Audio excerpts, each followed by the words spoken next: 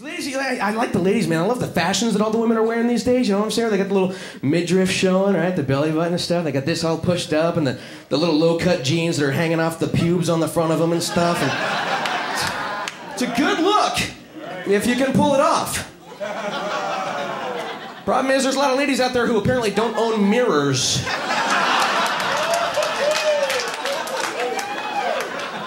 Lady, about two weeks ago, I'm at the mall, and I swear to God, this woman must have just finished giving birth that afternoon. She's. She's in there pushing a little stroller. She's got the whole midriff thing showing. She got this pushed up, trying to. What's left of them. This thing's hanging down here, and it is just everywhere. It's. It's coming over the sides. It's spilling over here. It's over the front. It's, it's like she's trying to form another ass crack above her waistline. This whole thing going on. And cottage cheese doesn't do it justice.